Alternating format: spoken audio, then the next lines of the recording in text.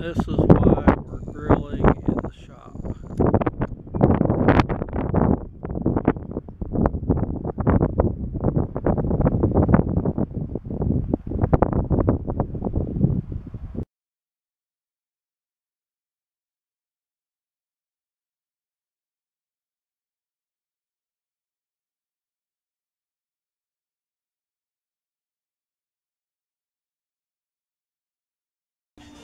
All right, I'm getting ready to do some ribs. Just thought I'd go over what you need if you're going to do this. Um, this is a gas grill on this side, three burners. I'm only going to be using this burner here uh, to regulate the temperature, low and slow.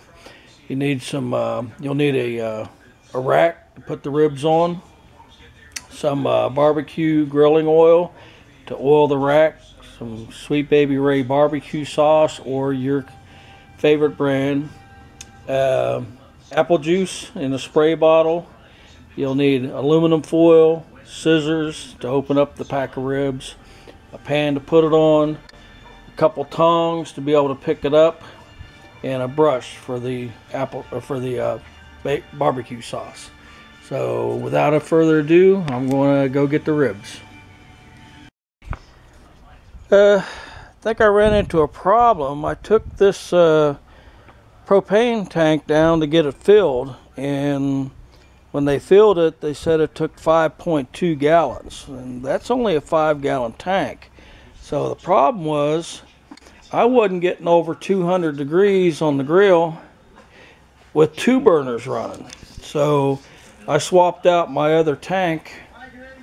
It's about half full and now I'm on one burner and I'm having to turn it down now because I am at 275 and that's where I need to be. So I'm going to count that as the start time. It's 11:30.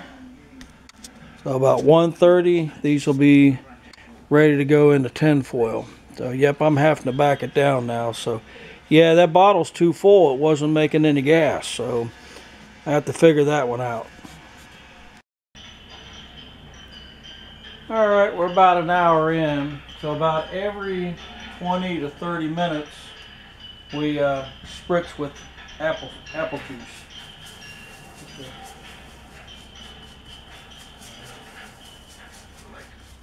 We're about an hour in. It's looking pretty good.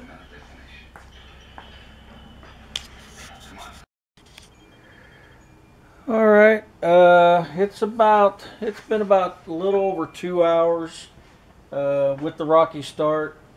Um, I finally got it dialed in to where it's running 275 consistently. So the next step now, uh, so it's been two hours. Now we're going to wrap it in tin foil. And I'm going to give it one more shot. Apple we're not going to touch the gas burner. We're going to just leave it run. So this is where you want to have your two tongs. And you want to lift in between the grates. And what we're going to do is we're going to turn it over so the bone side is up. Okay.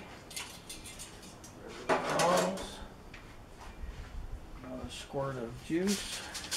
And what we're going to do is we're going to wrap it tightly in tin foil and put it back on the rack.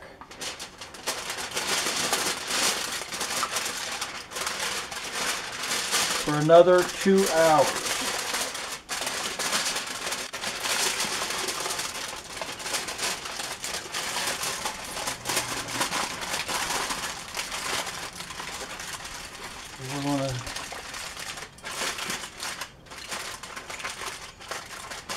do it quick enough, should be able to just pick it up, put it back on the rack.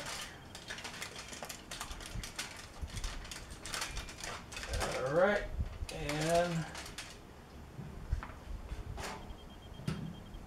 275 for two more hours.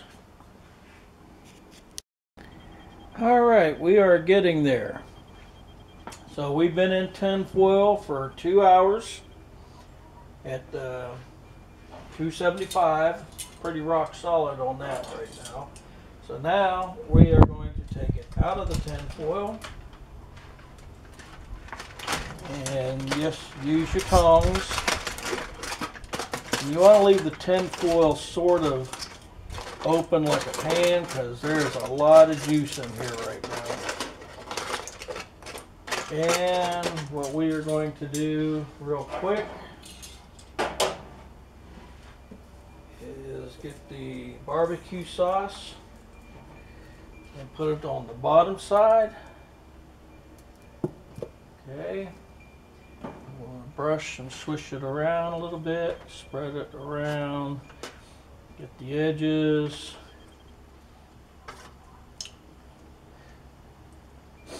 And these are looking really good. All right. Now we're going to flip it back over and put it back on the rack. Sometimes it's easier to turn the rack this way. Be very careful now because it could fall apart on you. Grab it to where I can turn it.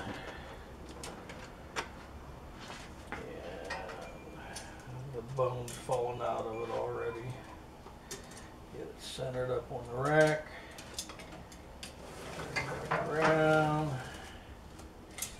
And we'll put the barbecue on top.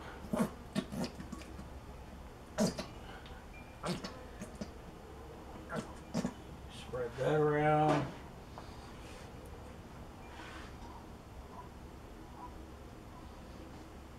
We like the barbecue.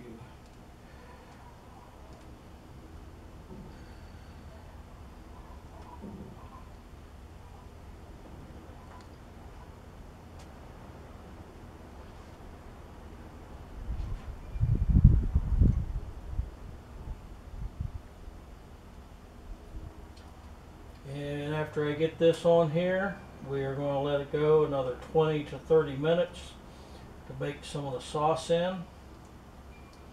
And they will be done. Okay. And 20 to 30 more minutes at 275. Okay, it's been about 20 minutes. I'd like to go a little longer, but everybody's hungry. Sides are ready.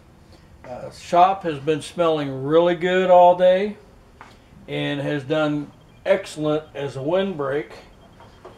We've had uh, 20 to 30 mile an hour winds all day and the grill hasn't fluctuated at all. So we're going to pull this off and let it rest for about 10 or 15 minutes. I should have got a bigger pan, but that's what we got. And finish cutting the grill off. And we're going to go have supper.